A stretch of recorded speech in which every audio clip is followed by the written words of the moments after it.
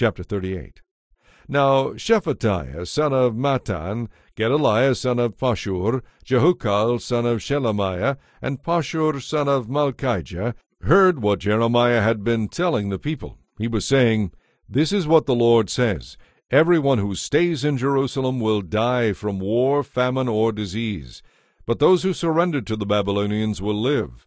The Lord also says, The city of Jerusalem will surely be handed over to the army of the king of Babylon, who will capture it. So these officials went to the king and said, Sir, this man must die.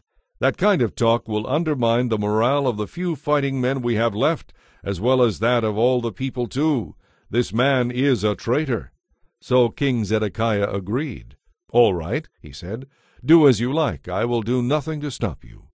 So the officials took Jeremiah from his cell and lowered him by ropes into an empty cistern in the prison yard.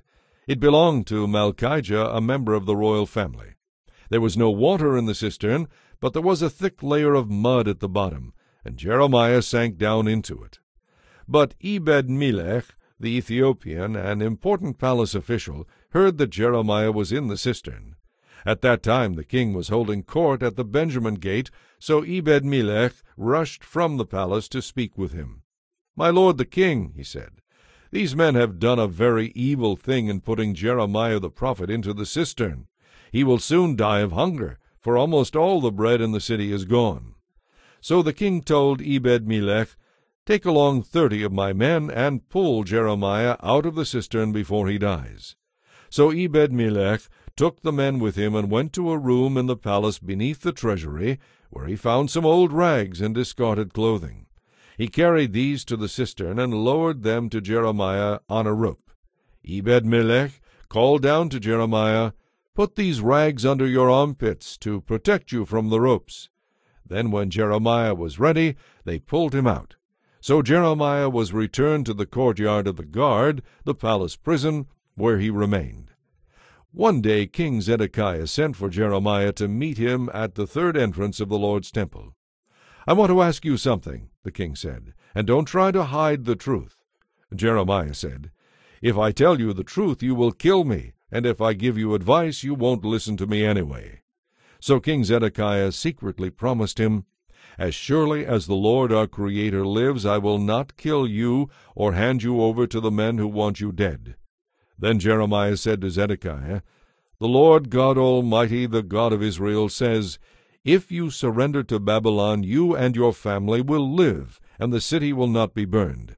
But if you refuse to surrender, you will not escape. This city will be handed over to the Babylonians, and they will burn it to the ground. But I am afraid to surrender, the king said, for the Babylonians will hand me over to the Judeans who have defected to them, and who knows what they will do to me.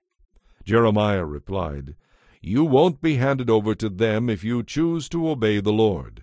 Your life will be spared, and all will go well for you. But if you refuse to surrender, this is what the Lord has revealed to me.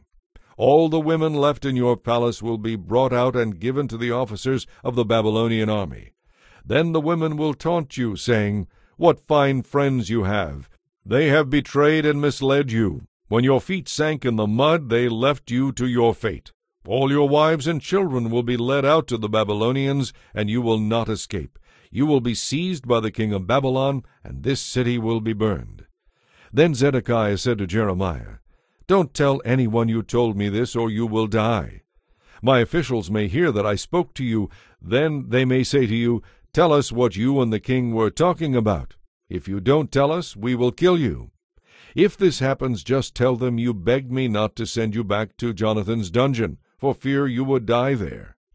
Sure enough, it wasn't long before the king's officials came to Jeremiah and asked him why the king had called for him.